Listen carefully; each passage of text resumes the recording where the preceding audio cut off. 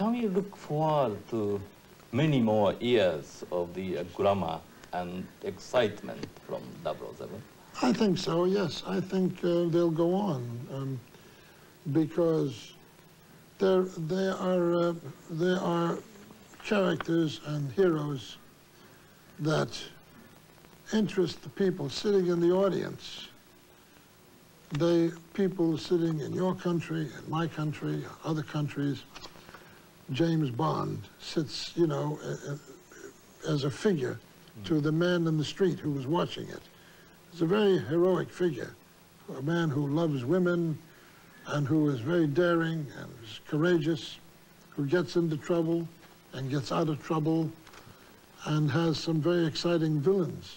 I mean, the total audience has been estimated by our distributor, which is United Artists, of over 1 billion people.